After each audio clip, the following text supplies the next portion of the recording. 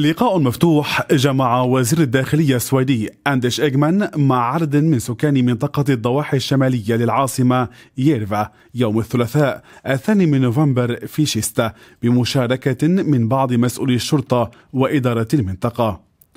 وقوع 16 جريمة قتل خلال العام والنصف الأخير في المنطقة التي تضم ضواحي شيستا رينكبي تينستا وهوسبي استدعى طرح السؤال التالي ما الذي تقوم به الحكومة لوقف هذا التدهور في الحالة الأمنية للمنطقة؟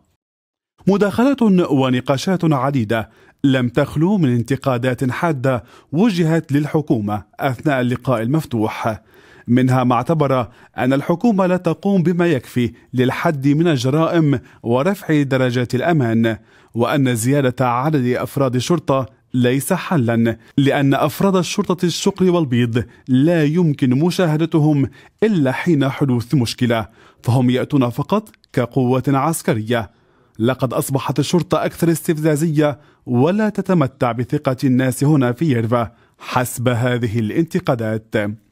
الوزير إيغمان من جهته اعتبر أن هذا الوصف لحالة الضواحي مبالغ به وأكد على أن مكافحة الجرائم والحد منها يتطلب القيام بأكثر من مهمة فهو يحتاج إلى عملية إصلاح صغيرة في عدة مناطق مثل زيادة موارد الشرطة تشديد العقوبات على المدنيين بحيازة وتجارة السلاح ولكن وفي الوقت نفسه زيادة الاستثمار بالمدارس وتأمين المساكن وخلق وظائف وفرص عمل جديدة. ومن المهم أيضا إحداث تغييرات بحيث يرى الجميع ويشعر أن الأمور تسير بالاتجاه الصحيح. الوزير أندش إنجمان أكد في تصريح خاص للكومبس على هامش اللقاء على أهمية عقد مثل هذه اللقاءات المفتوحة والمشاركة بالنقاشات التي تهم السكان ومنها الأمن والأمان لجميع أهالي تلك المنطقة. وأوضح أن الحكومة تقوم بعدة إجراءات ومهام من أجل كسب ثقة الشرطة التي يجب أن تكون جزءا من المجتمع.